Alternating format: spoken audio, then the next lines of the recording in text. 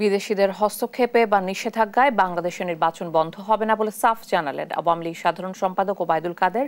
উত্তর আওয়ামী লীগের সমাবেশে তিনি বলেন, বিএনপির অনেক নেতা নির্বাচনে অংশগ্রহণের প্রস্তুতি নিচ্ছেন। তৌফিক মাহমুদ মুন্নার রিপোর্ট, জানাচ্ছেন হাসান শাব্বির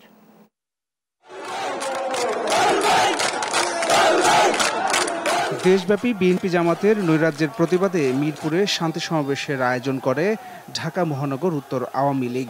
সভায় প্রধান অতিথি হিসেবে যোগ দেন আওয়ামী লীগ সাধারণ সম্পাদক ওবায়দুল কাদের। সমাবেশ সামনে রেখে শুক্রবার দুপুর থেকে নেতাকর্মীরা মিছিল নিয়ে যোগ দেন আদর্শ উচ্চ বিদ্যালয় মাঠে। উত্তর আওয়ামী লীগের সমাবেশে মহানগরের নেতা ছাড়াও কেন্দ্রীয় নেতারা বক্তব্য রাখেন। করে আওয়ামী লীগ সাধারণ সম্পাদক বলেন কারও ভিসা নীতি বা নিষেধাজ্ঞায় দেশের নির্বাচন বন্ধ হবে না।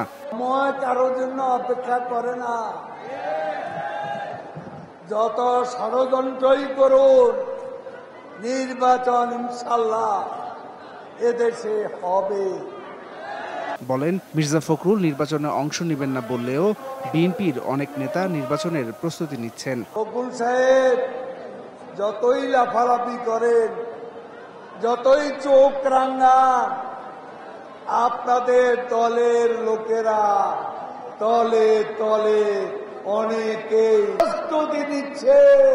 আগামী নির্বাচন সামনে রেখে সবাইকে ঐক্যবদ্ধ হওয়ার আহ্বানও জানান ওবায়দুল কাদের। জনগণের জন্য প্রতিদিন হাসান শাব্বির দেশ টিভি ঢাকা